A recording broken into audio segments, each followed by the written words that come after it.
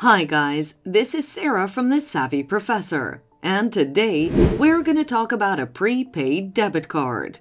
This video will let you know what a prepaid debit card is, where it's used, and the fees incurred while using it. Make sure to stick around until the end of the video.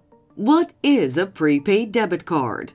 A prepaid debit card is a mode of payment that you can load money onto before use. You can only spend the amount of cash you've loaded onto the card and can't go beyond the amount since it acts as your limit. Once the funds run out, the card stops working until it's loaded again with cash. Prepaid debit cards are bought at supermarkets, convenience stores, other retail outlets, some banks, or directly from the issuer. With prepaid debit cards, there's no debt since you're spending cash that you've loaded onto the card in advance. The card is not affiliated with a bank account or a line of credit, but payments are made based on the amount of cash deposited in the card.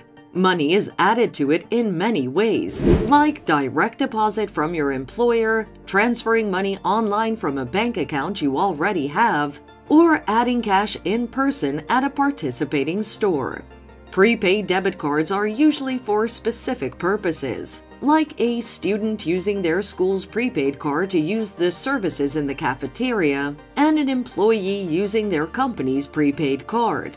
It acts as an alternative to cash if you don't have a debit card connected to a bank account. Acquiring a prepaid debit card is a big plus since no credit history, monthly income, or expenses are looked up to get the card. A prepaid debit card incurs fees like reloading fees when adding up cash in the card, balance inquiry fees when you want to know the card balance, inactivity fees when you don't use the card for a long time, paper statement fees when you want a hard copy of transaction statements, and foreign transaction fees when purchasing items using other currencies.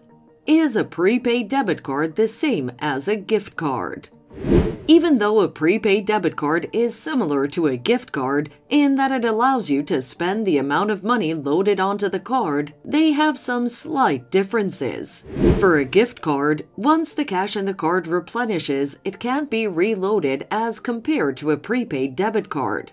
In addition, gift cards are mainly used at particular retail shops, whereas prepaid debit cards are used nearly everywhere. You'll need to compare fees charged for each mode of payment to see which is the most viable. The payment amount will also determine which you go for.